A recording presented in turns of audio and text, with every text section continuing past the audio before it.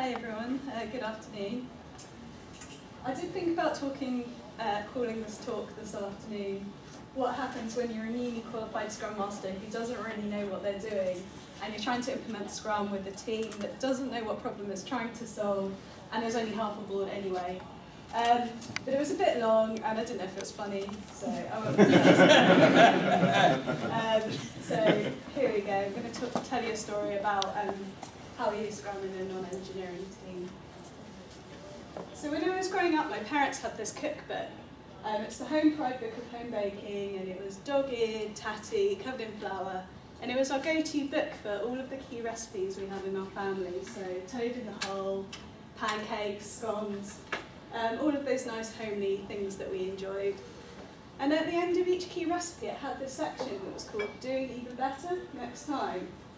And and I really liked it. it on the left-hand side, it said, was this the trouble? And it listed all these things that might have gone wrong. So, for example, your pastry, this is pastry recipe, by the way, might be hard and tough, it might be soft and crumbly, um, all the things that might potentially go wrong. And then it listed the reasons why. So, for example, you put too much water in, or too much fat, or you've handled it too much. And I really like this idea that, you know, it kind of acknowledged that you're probably going to get it a bit wrong the first time you do it. But lots of other people have made this recipe and tried it, and basically they know some of the reasons why it goes wrong, and they're sharing that knowledge with you. And this um, focus on reflection and um, sharing knowledge and experiences and looking to improvement is something that I've always liked about Agile, and in particular Scrum. So I'd like to use this um, metaphor today to talk to you about my experiences of using Scrum and hopefully share some of the things that um, went well, some of the things that didn't go so well, and look at the reasons why. Um, and I hope that some of these things might resonate with some of you today. And if anyone's thinking about using Scrum, and particularly in a non-technical team, maybe you'll find this useful as well. So, a little bit about me. Uh, two years ago, I worked at the University of London, and I was on the path to become a project manager, so this is me metaphorically on my journey. Um, and I didn't really know much about Scrum and Agile. A lot of my colleagues were doing Prince 2 because that's very popular uh, in the public sector. But I spoke to a few people and I heard about this thing that people tended to be quite excited about and it sounded really interesting. So I kind of decided that's what I wanted to do. I wanted to um, become a Scrum Master and, and, and do Agile. Um, so I um, basically taught myself everything I could. I came to this conference last year, I joined a lot of meetup groups in London, um, and I put myself through the Certified Scrum Master training. Um, and at the same time as I was doing all this, I took another role, which was an office manager job. So it wasn't an agile role, but it just so happened that one of the teams at the company that I joined had decided they wanted to use Scrum. And they said, uh, well, Frances, you know about Scrum, would you like to help us? And I said, yeah, sure, that sounds good. Um, so um, what were the ingredients to this um, experiment that we did? So the organisation was a, a startup, so it was an IT startup. So there was a team that was building software of about five people. And then there was a growth team that was basically everyone else. Um, and that's the team that had decided they wanted to use Scrum. And there wasn't very much like um, overlap between the two teams. So the development team were kind of using a bit of Kanban and Lean and so on. But um, the growth team weren't, weren't using anything like that at all. Um, so just so you have a bit of context about the organisation and um, uh, why we did what we did. Um, I'll just tell you a bit about who was in the growth team. Um, we had, um, there were five people. We had a PR intern who was um, responsible for updating the blog, um, putting stuff on our website, etc. We had um, a head of marketing um, who was responsible for promoting us online. Um, a agency relations officer who worked with digital agencies using our products uh, head of developer re relations who worked with individual developers um, using the software, and what was the last one? I've done five already? Well, anyway, that, that was the team. So as you can see, there's, there was quite a, a mix of jobs in this team and areas of responsibility and roles. Um, so why did they decide that they wanted to use Scrum? What problems were we trying to solve? Well, in a way it's quite a difficult question to ask because we didn't actually have any kind of kick-off meeting where we sat down and agreed what problems we were trying to solve, which probably like will be setting off alarm bells in some of your heads. But it did come up um, a bit later on through conversations that I had, and the two things that the team really wanted from using Scrum was self-organisation and better communication. So um, self-organisation really came from the CEO who wanted the team to take a bit more ownership of their work and um, make sure they're a bit more aligned. Um, and the team wanted to communicate. So they didn't really have any processes in place that would help them um, keep in touch with each other. And it had turned out that you know sometimes they were working on projects at the same time, um, but they didn't know about it. Um, Allan Kelly spoke this morning about synergies and the fact that by having stand-ups, people, you know, sometimes can discover things about what other people are working on that you wouldn't necessarily know if you hadn't had that conversation. So they wanted some kind of process that would help facilitate that conversation. Um, what method did we use? Well, we basically uh, tried to do Scrum by the book. So, um, how many people here have used Scrum or are using Scrum now? Like, okay. So maybe about like 75% of you. So this will be very familiar to a lot of you, but those aren't. The, the main thing really is that with Scrum, you work in iterations, so we did two weeks, and um, you create a backlog, which is what you commit to for the two weeks, and then the idea is that at the end you come out with something that's completed. Uh, so if you're working in the software team, it's a finished bit of um, uh, finished piece of product that you can potentially ship to customers. So what was the result? Um, this experiment lasted about three months, I should add.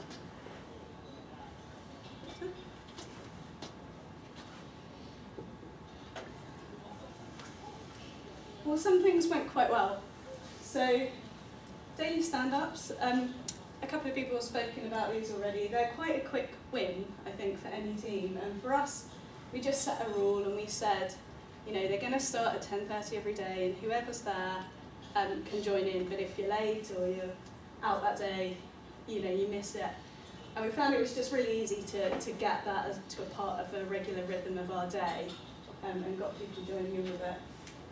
Um, retrospectives were quite effective because the team had never had a way of sort of reviewing their work before and looking back. And we managed to highlight a few issues through having retrospectives that we might not have um, talked about otherwise. Um, communication during planning sessions. So this is one of our key objectives and it's one of the things the team said to me. Um, you know, we really find it helpful that um, during our planning session at the beginning of each two weeks, we get together and tell each other what we're working on and we share and we ask questions. And that's something that, you know, they've not been doing before. Um, but what about doing even better next time? What were the things that didn't go so well with this team? Um, so there's, there's four things I've identified that were kind of, um, uh, that didn't work so well. So the first one was our planning meetings were quite stressful and ineffective. So I don't know if anyone's experienced a difficult planning meeting before. Um, what, what were the reasons why? There's kind of three reasons that I've pulled out for this team um, why we experienced this. Um, we had too many work streams and areas of responsibility. I mentioned that there were quite a few different job roles in the team, all with sort of different um, sets of things to be getting on with. We didn't have a product owner, so if you're doing um, uh, traditional Scrum and maybe if you're a software team, you, you probably have a product owner who's prioritising stuff for you and feeding it into the team. Uh, we didn't have anyone in that role. Um, and we also, we were trying to use user stories to create a backlog for our sprints, but we didn't um, we didn't really reach an agreement as a team what that meant for us, and we couldn't really work out how to use them. So um, I'll just look at these in a bit more detail um, briefly. Um, having too many um, work streams and areas of responsibility. So um, during our planning meeting, we were, we were trying, basically everyone wrote their stories onto index cards and brought them along, so we were doing everything physically. Um, and we tried to um, prioritise them according to how big they were and, and how important, but the team found it very, very difficult to do. Um, and part of this was because, you know, for example, one of the tasks was updating all the uh, developer documentation on the website, which was quite a big job. And another task was recruiting a designer to um, update our marketing materials. So kind of just completely different types of work. Um, and the people that were doing it found it really difficult to look at someone else's work and say, well, that's higher priority or that's a bigger job than, than mine. They didn't have that sort of overview. Um, so what we learned is that for us, the planning meeting, it was better just to use it as a communication meeting rather than trying to create a prioritized backlog. That didn't really make sense for us as a team. One thing that we could have tried that might have helped is create some Kanban swim lanes. So we had a board on the wall that said to do, doing, done, and we put all our index cards um, up under to do.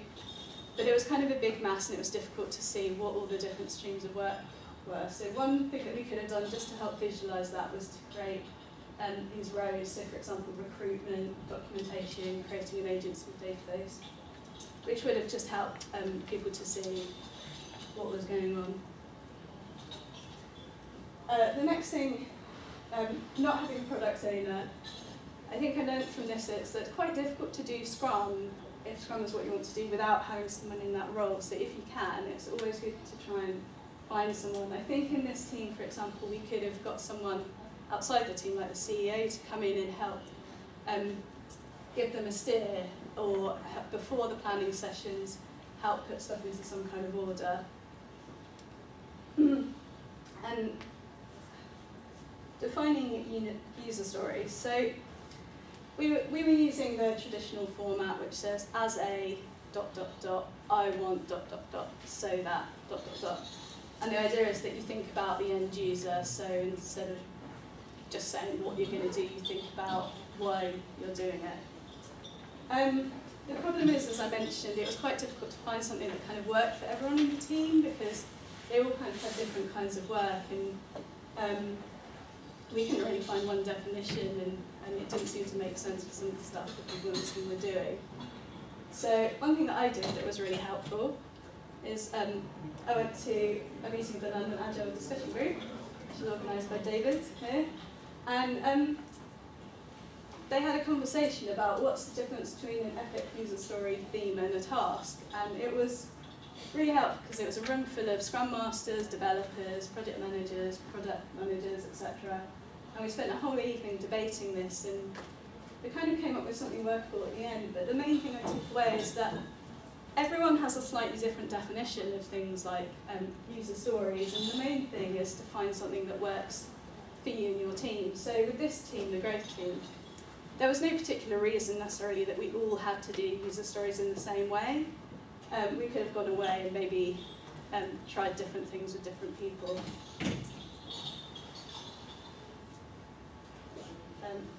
Um, so the next thing that didn't go so smoothly was that the team didn't work collaboratively. So the vision when you're using Scrum is that the team all pulls together to deliver something and maybe job titles and job roles get a little bit blurred because the key thing is that you're delivering something at the end that's finished. Um, but the reality with this team was that it was just a group of individuals working on individual projects. Um, so they didn't really work together on much of the stuff that was coming through the team. Um, so what were the reasons for this? Well, I've identified a couple of things that, that I noticed. Um, we didn't really have any shared goals. Um, and there was also possibly the wrong roles and skills in the team. So if we um, have a look at the first one in a bit more detail, um, because we didn't have any shared goals, there wasn't really a sense of the team striving towards something together. Um, and we didn't, we didn't have anything to refer to. So one way that we could have done this is by creating some OKRs. Um, has anyone heard of OKRs or used them before? Yeah, someone at the back. Um, it stands for objectives and key results, and the idea is it's a way of um, collaboratively setting goals for teams and individuals. And basically, you have your objectives, um, which is what you want to do, and then you have your key results, which is how you're going to do it. Um, and the idea is that they're supposed to be, um, they're, they're supposed to stretch you, so if you achieve everything, they're kind of too easy, and if you don't achieve any of them, you're not being realistic. Um, and at this organisation, at the same time as we were doing the Scrum experiment, um, there was an initiative to create some OKRs um, across the, the two teams, and we had a week where we all sat down in different groups and we talked about what we wanted to achieve um, and worked out how we were going to do it and set up some key results. And it would have been really great looking back if we'd have aligned that to our sprint planning. Uh, it seems really obvious now, but we didn't. Um, so what I learned if I was going to do it again is like, if you haven't got a product owner or someone feeding you priorities, make sure that you identify some with your team. This is quite a good tool for doing it. Um, the other thing was having the wrong roles and skills in the team. So we pretty much just took the team as it was, which was basically everyone that wasn't in the development team, and called them a growth team and expected them to be a team. But um, it didn't really necessarily make sense. Um, so this is a situation where we it came up in one of our retrospectives. Um, someone was feeling, you know, a certain amount of um, unhappiness and, and, and pressure around the fact that they felt they were just in the wrong place and they'd be better off working with the other teams. So we talked about it and we agreed to move them across. And um, it was really effective because it just took that away and it just made a lot more sense. Um, so there we go, shuffled them across. Um,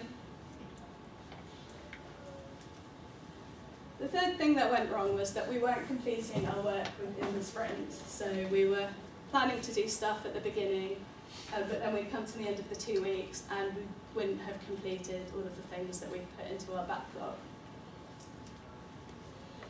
One of the reasons was that business as usual work was getting in the way, so um, and, and unplanned work, stuff that the team hadn't thought about in the planning session, was coming up and meaning they couldn't focus on sprint work. Um, and the other reason that was that the team was overcommitting, so um, they're basically saying they could do more than they really could. Um, I said that business as usual work was getting in the way, but it's possibly a bit unfair because I think everybody always has business as usual and everyone has unplanned work. Um, so for example, um, you know, uh, questions that come in from customers um, that you have to respond to straight away or um, perhaps issues um, that come, up, come through Twitter or something and you have to uh, get back to people. And the team kind of felt they were failing a bit because they were spending so much time on this stuff um, but actually, um, one thing that we could have done um, is just have, have a swim lane on our, our Kanban board for business as usual and just like recognise that we're going to spend a certain amount of our time working on it, so kind of plan for the unplanned stuff. Um, and you can see here I put a percentage, so this could be anything really, whatever like the team thinks is fair. Um, we actually tried to track um, how much, what the proportion of sprint and non-sprint work was. We used it, did this using a tool called I've Done This, which um, it's a really bad picture, sorry about that, but it's an, basically an automated email that comes into your inbox at the end of each day, and you reply to it and you just say what you've done, and then the next morning it sends around a summary email. So it's kind of just a really effective way of sharing what you've been doing with the rest of the team. And we just decided that when we replied with what we'd done, we'd just put in brackets if it was sprint or non-sprint. And it was kind of a, a crude way of measuring it, but it was really interesting to see how the percentages varied between different people in the team. So some people were spending like, you know, most of their time on non-sprint stuff and other people maybe like 10%. So it's really helpful to visualize that and have some data um, that can help us in planning.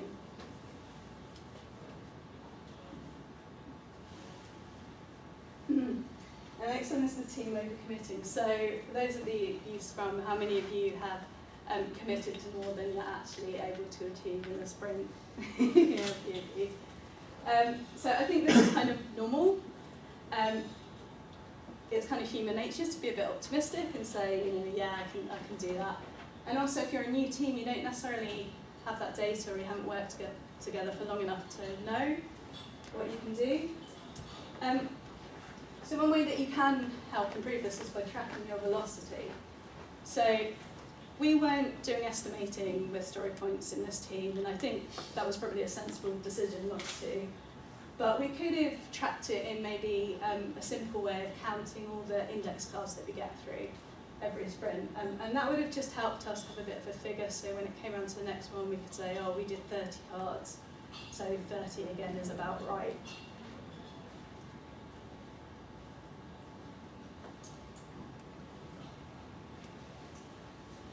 Um, so moving on to the, the final thing that didn't go so well with this experiment, which is kind of a big one. The team became quite demotivated and disillusioned about the Scrum experiment. So the vision was that we were going to use Scrum like this exciting tool to solve some problems in our organisation and make us better. But the reality was that the team started to feel like um, Scrum didn't work, or we weren't doing it properly, or it wasn't designed for like non-technical teams, and there was kind of a bit of a low level of negative feedback going on um, towards the end.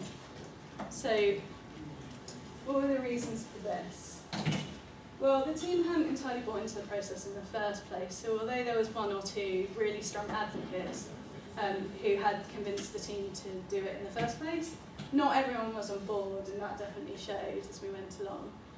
Um, there was a lack of trust in the team, so we didn't, we weren't comfortable enough with each other to actually um, talk about what was going wrong. And um, finally, the thought that probably some of you might have been having is that maybe Scrum wasn't the best tool for us to be using. So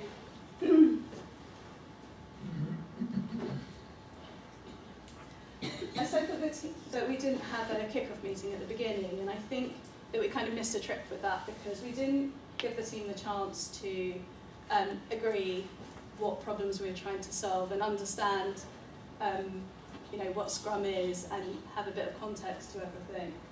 So definitely if I was going to do this again with a similar team, just make sure we all sat down at the beginning and gave everyone a chance to uh, discuss what we were going to do and, and agree to try it.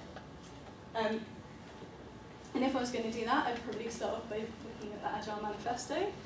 And I particularly, I like the first one, individuals and interactions over processes and tools, which I've highlighted here because some feedback I hear is that, you know, oh, there's lots of meetings and Scrum is very process heavy and it's just a bit over engineered.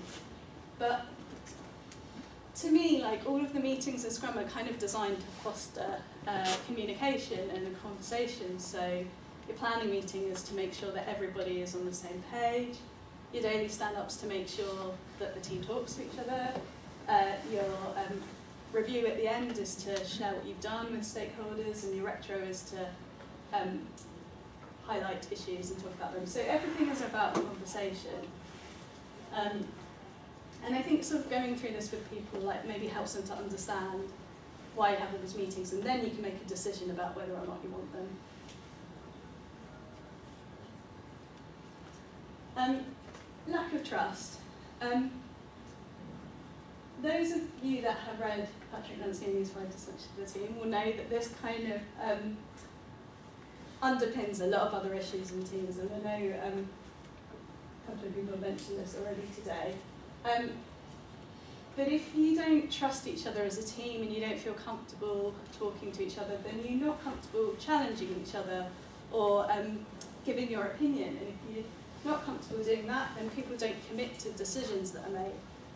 And if they don't commit to decisions that are being made, people don't hold each other to account and say, oh, you promised to do this, how's that going? Or um, why haven't you done this, can I help you out with it? And if you don't have that, then nobody really cares about the result. And I really recognise all of these stages with this team that I worked with because we didn't um, build, spend enough time building a team, we, we were never really going to succeed at the end. So I think building a team is quite a difficult thing and it takes a lot of time. Um, there's a couple of simple things that we could have done that would have helped set us on the right path. So we could have um, just spent a bit more time together socially, going to lunches. Um, there's a little activity that I quite enjoy doing at retrospectives, which is you just go around the room and you get everybody to say one fun fact about themselves, like a silly story or uh, something they don't think other people know. It just helps you to like get to know each other and um, you know feel a bit relaxed around each other. Um, another thing that we did in my current team now um, is we had a feedback session and it was quite difficult actually, but we all agreed that we were going to sit down together and we were going to say one thing that we thought was really good about each other member of the team and one thing that we'd like them to improve. And, and we went away and we prepared this in advance and then we all came into a room and sat down. And it was quite, as I say, it was quite awkward to start off with because it's not something that's kind of easy to do. Um, but we kind of forced ourselves, you know, say one good thing and one bad thing, and it led to some really interesting conversations. So my team told me, for example, um, I'm not from a technical background, I'm not a developer, so I was always saying a lot, you know, I'm not technical or I'm not a developer, and always kind of drawing attention to that. And they said, Frances, stop saying that, you know, it doesn't matter, you're a Scrum Master, your priorities are, are different, and, and don't keep drawing attention to that. And it was really good feedback for me um, to sort of realise how I was presenting myself to them. So it was really helpful, and I think that's a good thing to try in your teams, get the chance. Um, and the final thing, Scrum might not have been the best solution. Well, I'm sure there'll be lots of different thoughts on this. Um, and I'll come back in a minute to whether or not I think Scrum works. But I think that um, if we'd have sat down properly at the beginning and had that meeting, we might have been able to look at like the different tools, like maybe a more Kanban approach. And that might have decided that was more appropriate. Um, but at the end of the day, it probably doesn't, I don't think it matters what we chose. It was more about the conversation um, that's important. Um, so in conclusion, did it all go? I've just summarised everything, um, and I just go through these very, very quickly, the things that I learned. Um, planning meetings are stressful and ineffective, so you can try using Kanban lanes to visualise your work. You can go to a meetup group to see what other people are doing and share experiences. Uh, team doesn't work collaboratively, so you can try creating team goals, team OKRs, maybe try moving people around so you have the right people to deliver um, the work that you're trying to do. Uh, team isn't working, completing work within sprints, so you could create a business as usual swim lane, or maybe track your sprint versus non-sprint work using a tool like I've done this. Um, you can also track your velocity to see how much you're actually doing. And if your team becomes motivated and disillusioned, um, you know, have a kick-off meeting or even a meeting, even if you've been doing it for years, you can still get together. Uh, read uh, Five Dysfunction of the Team and try inspecting and adapting your process.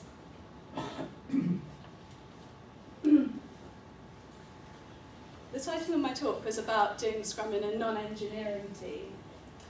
And I, I don't know about you, but I feel like none of the things that we faced were actually unique to a, a, an engineering and non-engineering team. They're all things that are quite common with any Scrum team. And um, a nodding there. Um, just to let you know what happened next, I moved on to a new role at NewVoiceMedia, and uh, this is the team at a recent hackathon. Um, and I became a full-time Scrum Master, um, which is kind of what I've been wanting to do. Um, so I reached that milestone. Um, I don't know whether the team I left carried on doing Scrum, but I kind of suspect they didn't. Um, we kind of had a wrap-up retrospective, and uh, I didn't get the sense that they were very enthusiastic about it, but there were some things that they did decide they wanted to carry on with, so um, stand-ups and uh, maybe retrospectives, and they could use those when they felt they wanted to. Um, and I'd just like to end on this note that even though the experiment didn't necessarily work with this team in that they didn't all become converted and decide they wanted to keep doing it forever and ever, I think that Scrum can work, and it can work if you've got a team with a shared purpose that's willing to give things a go in order to try and improve. So if this sounds like your business or your team, then I would say it's worth giving it a go. And that's pretty much me. So I'd like to open the floor and give you guys the chance to ask me questions about anything I've talked about. And also, um, I'm on Twitter, so feel free. Like, I'd love to hear about if anyone's had similar experiences, or maybe what went went wrong with you, and, and some of the reasons why. So, Thanks, Frances. Any questions? yeah. Yeah. Um, how did uh, I done this catch things that um, stand-ups didn't? Was it was that to do with the trust thing? People were more willing to put things in emails than they were to say it out loud. that's a good question. I don't think that we thought about it that way. I mean, in a way, it's kind of similar to a stand-up. Like you could almost use it instead of a stand-up. Um, but I think it was something that the team was kind of already using actually before we started to do Scrum, and so we, we were doing that and we started doing stand-ups as well. So I don't. Did you at any point stop using it and then go back to using it? No, we didn't. No, we carried on using both. Um, Gives you a record, I suppose. yeah. Um, You said it was that's a the question. I think business as usual stuff is something you made a note of, right? That was, Yeah, so that was something that like we didn't track in stand up, but like we could have done if we hadn't have had that tool. We could have um, maybe measured it somehow, like writing it on cards to put on the wall, or um, so yeah, we, we could have combined that. It just so happened that we had that tool, I think. Um, Also, there's a lot of it. You don't want to be spending 20 minutes every day talking about 50 items that came in the BAU. You probably just shove them into something else. Yeah, so there was a, um, a lot of stuff that we would put into that email that we wouldn't mention at stand ups. So our stand ups, we just literally said, you know, what we'd done yesterday, what we were going to do today, and whether we had any blockers, and we kind of tried to stick to that format and not talk too much about other stuff. So I think the, the email system was a way of people maybe sharing like extra details that you wouldn't want to spend time talking about. How long were your iteration? Uh, iterations were two weeks. Because uh, you said it was three months and everyone was unhappy at the end of it, but usually at the end of an iteration you have a retrospective that lets them Yeah. modify the process so that they're happier with it. So was there not much of that process modification going on? There was a you know, little you, bit. you, you imagined after a few, a few- a few retrospectives of people saying this is no good, you just can the whole thing, or was it a set time you decided to try it for, despite anyone trying to modify the process by take, getting rid of it completely? Yeah, I think that's a really good question. I think part of that was comes back to like the lack of trust and the fact that I was quite new to the organisation and um, quite a new Scrum Master, and people necessarily maybe didn't feel like they could tell Adapt the me that it wasn't Right, going yeah, that yeah, well. I think I think that might honestly have been an element, um, and we hadn't everyone tells together. me they all shout about it. Really? Had a bad sprint, like it's like Yeah. you know we have a hell of a retrospective and then it doesn't happen in the next sprint. Yeah, so you're Scrum Master as well. Well, effectively, Yeah, we do our job. I think it's quite Yeah. impressive actually that considering that the way you describe the roles and the types of work you're getting are not necessarily joined up mm. and it doesn't seem to be that there would be much scope for cross functionality in terms of people helping each other's work. That you have had the same issues that probably most of the scrum masters in the room have kind of you know, been nodding and saying, yeah, I've seen that before. But they were teams who have shared goals, right?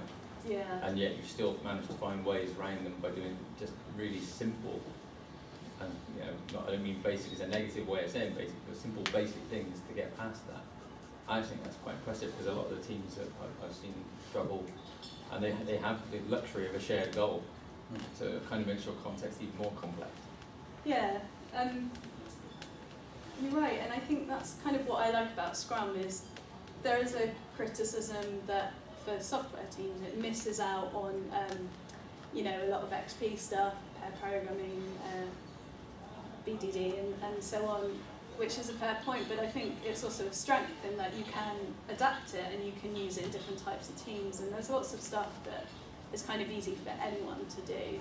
Um, yeah. Andy, another question? Yeah, just a quick one. Um, I was interested in your experience. You, you started off by talking about the company having two teams, and Yeah. you came into this when you became the Scrum Master. The, the implication was, was the, the software team not using or implementing any Agile? Because my question was about how, how um, it affected or how the other team responded to your, if they were different techniques that you were using, how that worked across the different, the different uh, sectors of the business. Um, so the development team were using kind of more a Kanban approach. Thing. I think they had a board with like swim lanes and um, it was an electronic board, and they. Um, I don't know if they did retrospectives or anything actually, or, or stand-ups even. But um, looking back, it seems really obvious now that we should have joined up. Like we could have shared that knowledge, but. Um, and I don't know why that was. I think looking back now, I'd probably question that and say, well, can we learn from each other and maybe share our process because of Yeah, another one over here. yeah. So um, we know each other, and you know this isn't, this is not directed as a personal attack on you. Okay, so this is a question that when you said I'd encourage you to have a go at it to other people Yeah. and stuff, there's just one thought that if if your team, let's say they left and joined another company, and someone said we're going to start using Scrum, do you think that they would say, oh shit, not Scrum, because it, it doesn't work, Scrum doesn't work? And it's kind of a, a feeling that if someone is, you know, I someone here who's never heard of Agile before, they've come along here because, I don't know, they thought it was free drink or something. They heard about the beach party and they've come along and they think, oh, well, I'll just have a go. Expensive beach party. Yeah. My concern is that people might have a go and not do it very well, and I'm not saying you but it then might kind of tarnish the approach in uh, on, on a whole. So that's kind of, don't know what you thought about it. Yeah. I mean, I think there's always a risk in trying something, and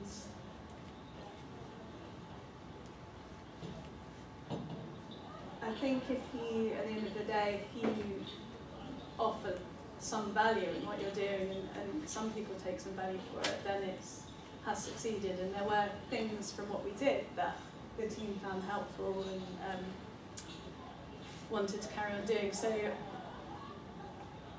I, yeah, I'm not sure. I don't really mind if they decided Scrum is rubbish. If they think Scrum is rubbish, but they're still going to do stand-ups and retrospectives and meet once a quarter to do planning because You had a timed That's- retrospective at the end, didn't you, as well, which probably really helped because then we can talk through everything Yeah. that had happened and run through that. yeah. So I wanted to wrap up because um, I wanted to give them the chance to think about, you know, moving forward. yeah, what what they're going to carry on doing. One last question? If you were doing it again, Yeah. if you could go back in time to that same point again, what would you do different? A little retrospective thinking there, yeah. Just one thing. Sorry, I thought but yeah, it's terrible. Sneaky. Yeah. That's meeting. Yeah, I, I think I think so. Like just sit down with the team and say, well, do you really want to do Scrum? Um, this is what it is. This is what it means. Um, and these are maybe some other things you can try. And this is what the development team is doing. And um, have that conversation. I think at the beginning. And if they decide, still decide that's what they're going to do, then I would try and help them do it. I think in the same way that you know I tried this time around. It's a big, strong test your assumptions, validate your assumptions, et cetera, et cetera, right at the very beginning, get everybody Yeah. on board. With, Yeah. um, in uh, Oxford Innovation, a lot of the coaching that we do, sometimes we're sort of kept away from senior directors because they're a bit weird. Um, but, uh, which they are. Um, however, it's really good getting them involved quite early and getting everybody in and saying, do you want to do it? Is this right? You know, what's what's in it for you? The benefits really sound as though they were kind of missing, but Mm. but getting everybody to go, what's in it for me? These are the benefits, and listing them all, and they go, cool, easy. Anyway, thank you, Frances.